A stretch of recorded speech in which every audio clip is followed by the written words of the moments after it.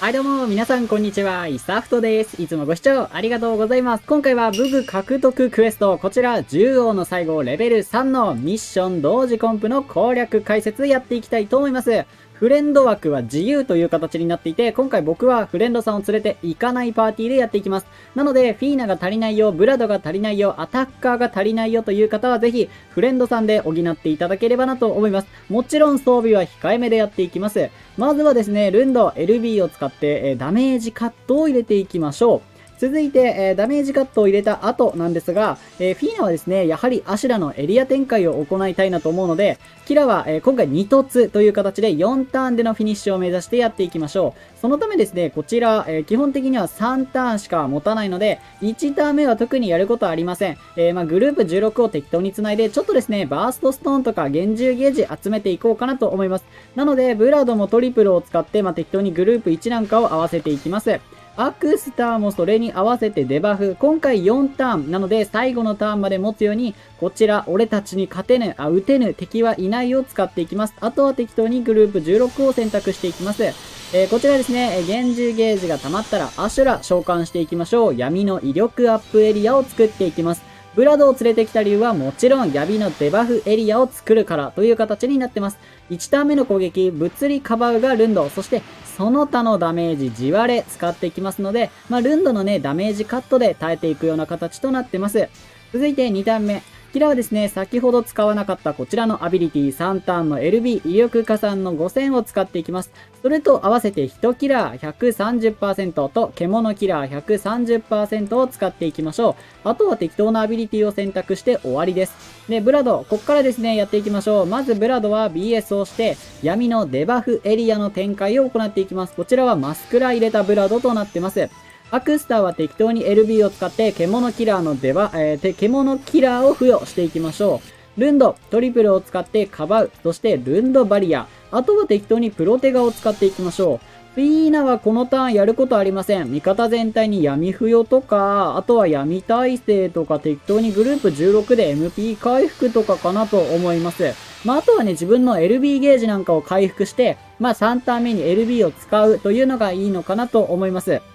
なので、まあ、ちょっとね、貫突しちゃってるんであれなんですけど、ちょっとここで LB を使っていこうかなと思います。で、キラー、ここで1回目の LB27 ヒットの剣デバフ持ちということなので、こちら使っていきましょう。で、アクスタ、トリプルを使ってグループ16を、ま使っていきます。そしたらブラドは、まあ、ここでね、もういきなりダメージ稼ぎに行きます。ロットのデバフ20%を採用して、適当なアビリティを2つ、そして、えー、こちら使っていきます。では早速やっていきましょう。えー、まずは、ブラドを押して、ブラドのアビリティが最後まで発動したのを確認したら、アクスターたちでチェインを組んでいくような形となります。ブラドがね、結構いいダメージ出すんですよね。で、ルンド、えー、スーパー LB を使ってダメージカット85%と味方の LB ゲージ3000回復を行っていきます。ブラドがね、いいダメージになるんですよ。なので、アタッカーが足りないよという方はフレンドさんにリオゼスなんかをお借りすると非常に楽に攻略できるかなと思います。で、えー、ラスト4ターン目、リロードを選択していきます。先ほどと同じように、ブラド、最後のアビリティまで発動を確認したら、チェインを組んでいきたいと思います。こんな形です。もうね、あの、アクスター、ダメージ貢献させるつもりありませんので、今回めちゃくちゃ簡単に倒せたかなと思います。装備の紹介やっていきましょう。アクスターをリーダーにすることによって、闇のコーマの100%バフをかけてます。リーダースキルとなってます。アクスターはとにかく耐えれるように HP、最強 HP で何も考えずに装備を組んだ形となってます。